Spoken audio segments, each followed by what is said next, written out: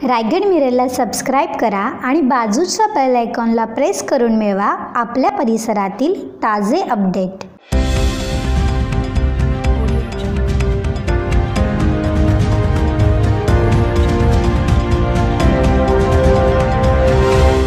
नमस्कार मी अमृता कदम रायगड मिररच्या आजच्या बुलेटिनमध्ये आपलं स्वागत.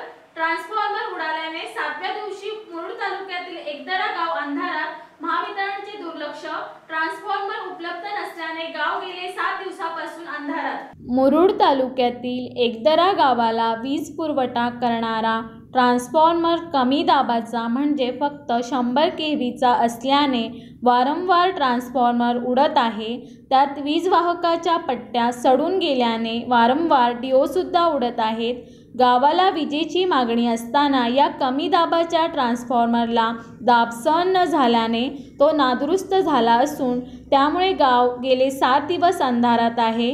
स्थानिक सरपंच अगरकर उपसरपंच निशाणदार यांच्यासह ग्रामस्थांनी वीज वितरणचे विभागीय अभियंता यांना घेराव घालून जाब विचारला. गावाला चारशे किलो वॅटची विजेची गरज असताना प्रत्यक्षात शंभर के व्हीचे दोन ट्रान्सफॉर्मर बसविले आहेत. गावाला विजेची अधिक गरज असताना त्यामुळे वीज ग्राहकांना विजेच्या समस्यांना तोंड द्यावे लागत आहे तरी वितरणने ग्राहकांच्या मागणीकडे लक्ष द्यावे अशी मागणी होत आहे.